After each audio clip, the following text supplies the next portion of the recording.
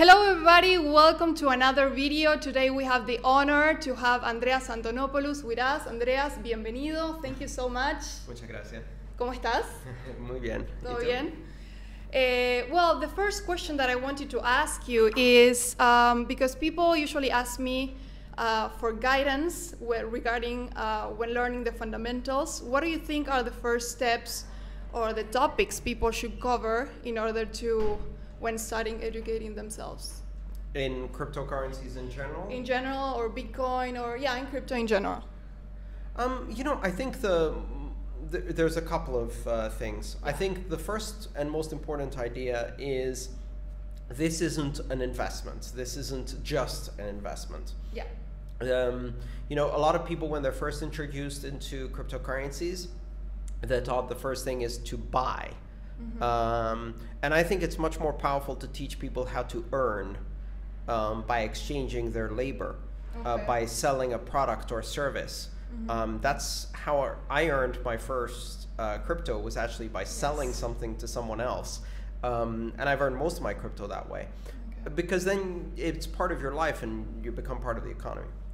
From a practical perspective, of course, the best thing you can teach someone is how to use a wallet okay. um, and how to control their own keys by themselves, how to do right. a backup, mm-hmm. how to store that backup, how to keep it secure, um, how to install a wallet on their phone, which wallet to install. All of that advice is very useful because it's the hardest information to get from strangers. Okay. If you just go and search on Google, you're much more likely to install either a very bad wallet or a dangerous wallet. All right. So security security would be one of the main topics. Yes, but okay. but practical security. Yes. How do you use this every okay. day? We will cover that in the in the channel then. Yes, very good. Great. So another question is besides the fundamentals about the technology, which other factors do you think people should take into consideration uh, to have macro perspective in this space? What I mean by macro perspective is the following, because usually people focus on price analysis, news, and maybe a little bit about the fundamentals. Is there like uh, scalability or the evolution of technology that you think people, what are like the key main factors that you think people should analyze each day that are really in, in, in crypto to have macro perspective? And make good decisions. So I, I think it's important to understand what the principles of open blockchains are and why those principles are important. To me, the principles of an open blockchain uh, or any open cryptocurrency that's based on an open blockchain is open. What, what does open mean? Open means that anyone can access it yes. from anywhere in the world at any time without the need for proving their identity or signing up for accounts or being uh, approved by someone. Okay. So that's what open. So that means open access. Um, and second, it has to be decentralized. So decentralized means that no one is in control or at least that control is spread among thousands of people so that no one can easily seize control of the system, right? Okay. And that decentralization then gives you the property of neutrality, which means that the system doesn't care if you're Argentinian or American, if you're white or black, Christian or Muslim, tall or short, male or female or not, any of those things. Those things do not matter. Um, so neutrality, that it, the systems are borderless, that they operate across country borders and jurisdictions, that they're not tied to a specific jurisdiction and that these systems are censorship resistant, meaning that if you want to do a transaction on an open blockchain, no one can stop you from doing a transaction. Excellent. In the macro scale, what happens is all of those principles will come under attack at one point or another.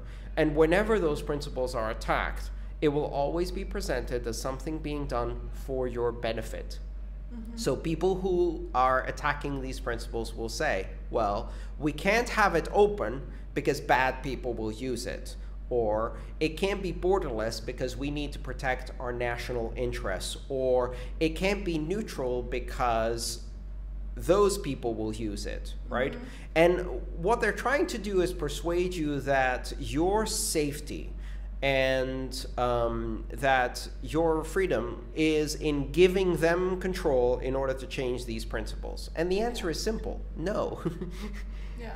don't do that. So Okay. preserving those principles. So if you have a long-term perspective on open blockchains, it's about guarding those principles, even when they tell you it's not for your own good. Excellent. That is one thing that I've learned from you, and one of the key messages that I keep on telling my audience.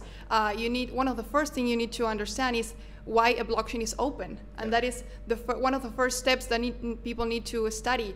Start with the open blockchain of Bitcoin, and that gives you perspective to analyze other technologies. Correct, yes. And that is uh, also attached to another question that I, I already know the answer, and some of the people already know the answer, but is why um, or how do you think people use this terminology in a wrong way? Why Bitcoin and not just blockchain? Because usually people say, I'm interested in, in I'm not that interested in Bitcoin, but in the technology behind it. Do you want to explain us a little bit about that? So when someone says I'm not interested in Bitcoin but in the technology behind Bitcoin blockchain, what they're saying is I want to sound like I am intelligent and know what I'm talking about, Yes. but I'm not entirely sure what I'm talking about. Exactly.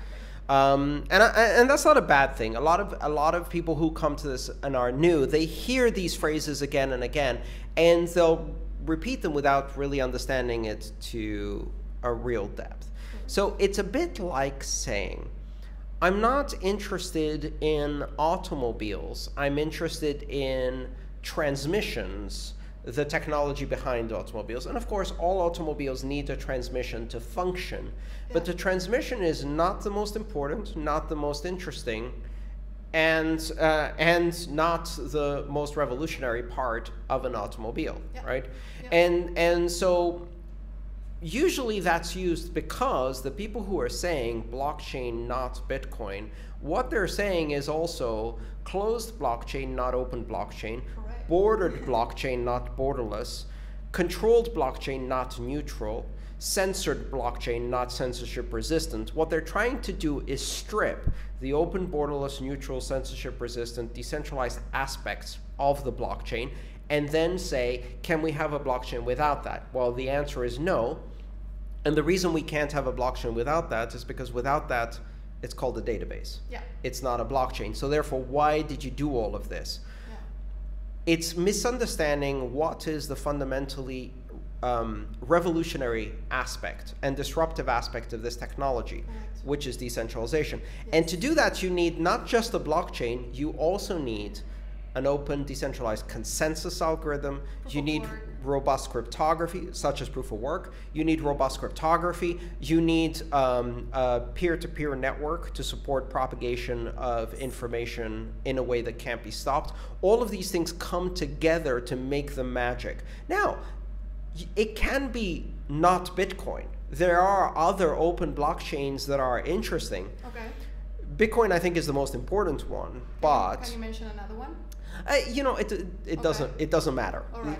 You have to figure that out for yourselves, All right? right, I I think. Um, but I, I think the, the the important thing is, is it open, right? Yeah. So is it open, decentralized, and all of those things? And most of the people who say I'm not interested in Bitcoin, I'm interested in technology uh, behind blockchain, they're rejecting all of the other features. Absolutely. Uh, thank you. And we ha- what we have just said, people, is key. Key to have perspective and understand the focus. Because uh, the other day I was listening to Trace Mayer. He was saying there's so much noise in the Yes, so space, and only a few people are focusing on the right thing and the, the right thing. And the main purpose of this uh, market is decentralization. Yes. Yes.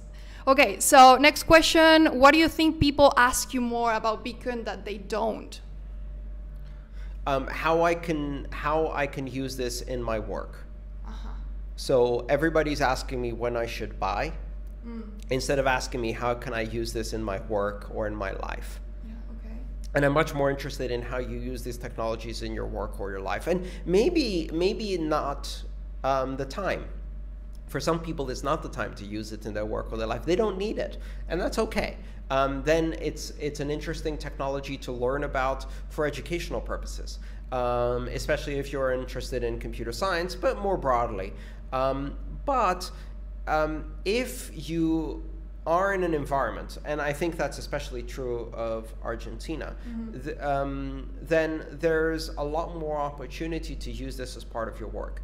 If you work on the internet and you do work that is not tied to a specific geography. If you work with people in other countries and you are making transactions, receiving payments or sending payments for your work or for the work of others across borders, then you can use this technology today in your work. I pay my employees and contractors in crypto because it's the most convenient, fastest, most secure way to achieve the goals of my business. Yeah. I earn crypto as fees because again it's the easiest securest fastest way for me to earn money. And so it's it's deeply embedded in how my company works. Um, and I, I think that gives a different perspective. I don't look at it Absolutely. as an investment. Yeah, yeah okay. Um, what do you wish uh, to see more of in the space? Um, what do you wish people were doing more of um, I wish we saw an emphasis on uh, moving away from centralized systems that control identity. Uh-huh. So, um, and we have more people hold their own keys and have a stronger emphasis on privacy. I think there's a very big risk when people leave uh, their cryptocurrencies on exchanges and all of their interactions are through exchanges where they don't control their keys and everything they do is under surveillance mm-hmm. and tied to their identity. People yeah. need to take privacy more seriously and they need to take custody of their keys um, to, to truly get the full range of benefits of this technology. You have to be in control of your keys and you have to protect your privacy. Do you think uh, the masses, the majority of the people, are prepared or want to be fully responsible for their money?